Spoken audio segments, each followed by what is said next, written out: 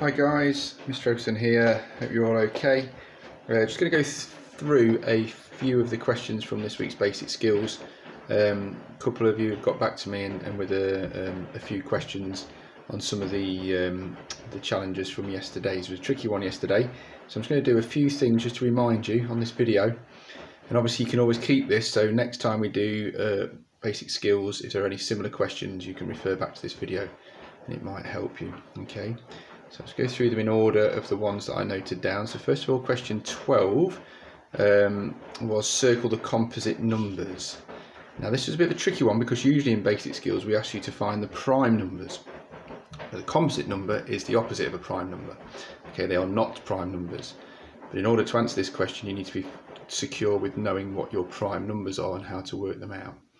So remember a prime number is any number that has more than two factors uh, and those factors are 1 in itself, remember. Okay, so for example, 21 has got the factors 1 and 21, because that's how you make 21, 1 times 21.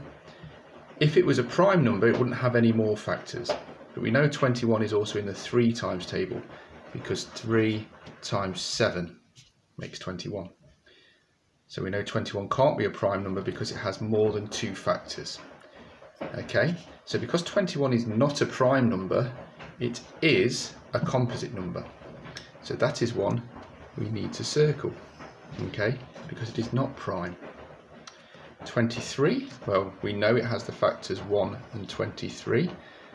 Are there any other ways to make 23 by multiplying any of the whole numbers? Does 23 appear in any of the times table? No, because 23 is a prime number. So 23 we would not circle on this question because it is not a composite number. Now 32 is an even number and we know all even numbers have the factor 2. So as well as 1 and 32 we know that 32 has the factor 2. It's 2 times 16 makes 32. 32 is also in the 4 times table. 4 times 8. So we can say for sure that 32 is not a prime number because it has all these factors, so therefore it must be a composite number. So we need to circle 32. 37, 1 times 37 makes 37. Are there any other ways of making 37 using multiplication? No. So 37 only has the factors 1 and 37, the two factors 1 in itself, so therefore it is a prime number. And the final one, 43, we know has the factors 1 and 43. Does it have any more factors? Can we make 43 any other way using multiplication? Is it any in any of the times table? No. 1 and 43 are the only factors of 43. So we leave that uncircled. So therefore, question 12, circle the composite numbers, the numbers that are not prime numbers. The answer was 21 and 32. Okay. Uh, I'm just going to go through uh, the next one. Uh, question 13 was 2,169 divided by 3. Well, this was a, a short method, uh, sorry, a short formal method of division question. A big bus stop, um, maybe a bit of confusion with multiplication here. But we start with, don't we, how many 3's can we fit into 2? Well, if I just draw two little dots there, you can see that you can't get 3 into 2. 3 is more than 2. So we know we've got 0 there, Oops, and remember we must carry that 2 over to the 1. So now our question is how many 3's in 21? So we need to know our 3 times table. 3, 6, 9, 12, 15, 18, 21. 7 lots of 3 make 21. Nothing to carry over. How many 3's in 6? Well, that's 2. 2 3's are 6. No remainder. And how many 3's in 9? 3. So the answer to that question was 723. Okay. Uh, right. Question 18, you needed to remember the rule for um, turning mixed numbers into an improper fraction. So here's a mixed number, we've got whole number 3, and the fraction 7 fifteenths. And the rule, remember, is multiply the whole number by the denominator and then add the numerator. So 3 times 15 well, we could do that three lots of 15. Use our multiplication method. I could add 15 up three times, 5, 10, 15. 5 there, carry 1, 1, 2, 3, 4. So 3 times 15 is 45. Add 7 is 52. And remember, we put the 52 as the numerator and the denominator stays the same. So 3 and 7 fifteenths as an improper fraction is 52 fifteenths. And again, there might be these questions next week. So look back at this video, it may help you. Okay, uh, next one, what have we got? We've got number 18. Where's number 18? Uh, no, just a number 18, it's number 20. This is a rounding question. Uh, 3.19 rounded to the nearest whole number. So remember, a whole number is a number without any numbers after the decimal point. Okay, we're just interested in a whole number. Well, we've got 3.19, um, and we can see in our place value chart here, we want to get a whole number. So let's cover up the decimal. And our question to ourselves is, well, what is the next number to the right in the next column? Well, it's a 1. So because that's a 1, we keep this number, whole number, as 3. If that 1 was 5, or 6, or 7, or 8, or 9, we would round it up. Remember the, uh, the rule, okay, 5 and above, give it a shove. Because in, in this example it's a 1, then we keep it as 3. So 3.19 rounded to the nearest whole number is 3. Okay. Uh, 21 was the question about the racetrack. It's 2.654 kilometres long, and if you did three laps, how, how uh, far would you have driven?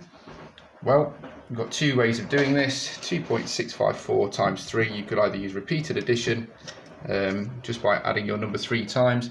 4, 8, 12, so 2 there, carry 1. 5, 10, 15 plus the 1, 6, carry 1 sorry, 16, 6 there, carry the 1. 6, 12, 18 plus the 1 is 19, so 9 there, carry the 1 over the decimal point. Decimal point's already in my answer. 2, 4, 6, don't forget the 1 is 7. And our other method would be the short multiplication method. 3 times 4 is 12. So remember this way we put the 2 in there and we carry the 1. 3 times 5 is 15, plus the 1 is 16, so 6 there, carry the 1. 3 times 6 is 18, plus the 1 is 19, 9 there, carry the 1. 3 times 2 is 6, plus the 1 7. So we can see we get the same answer regardless of the method we use. Okay, uh, and finally, two questions that you need to know your uh, uh, angles, knowledge of angles. So the first one was this one, find the missing angle A. Well, in order to answer this question, you need to remember that the angle of a full turn, angles of a circle, a full spin, is 360 degrees. Okay, think of a 360 degree spin um, all the way round. So here we've got these two angles and we've got to find this one. Well, if we add these two up, 107 and 158, 7 add 8 is 15, carry 1, 1 and 5 is 6 and 1 and 1 is 2. So we know those two angles equal 265 degrees. Well, to find the missing angle, we just need to take that away from the whole thing, which is 360. So in order to answer this question, once we've added up the two angles we've been given, we can take those, uh, subtract that 265 from 360, 0 subtract 5, well we can't do that without borrowing, so let's exchange that in the tens column for the units, 10 take away 5 is 5. 5 take away 6 again we can't do without borrowing, so we'll turn that into a 2. We know how to do this. 15 take away 6 is 9. 2 take away 2 0. So the answer to that question, angle A, is 95 degrees. And finally, similar sort of problem here. You've got a triangle. Um, we've given 32 degrees for this angle. We've got to find the angle X. Well, what we need to remember here is the angle we learned first of all in school, which is the right angle. There's a right angle, and we know a right angle is 90 degrees. So again, if we add those two together, we can find that missing angle. But what we've got to need to remember here is the angles of a triangle add up to 180 degrees. Okay, so we add these two numbers, 90 add 32, 2 add 0 is 2, 3 add 9 is 12. So those two angles together make 122 degrees. And if we subtract those two from the whole thing, the whole triangle, which is 180 degrees, we end up with 0 take away 2 we can't do, so let's borrow 1 from the tens. 10 take away 2 is 8, 7 take away 2 is 5, 1 is 0. So that angle there would be 58 degrees. Okay, so again you can watch this video over and over and if there's any more questions next week, come back to this video and it may just help you with some of the questions in our weekly skills next week. There's lots I've gone through there quite quickly, but uh, feel free to, to watch it, stop it whenever you need to, um, and, and do some practice of, the, of some of the skills that um, you perhaps struggled with this week. Great job guys, uh, we'll see you soon, take care, bye.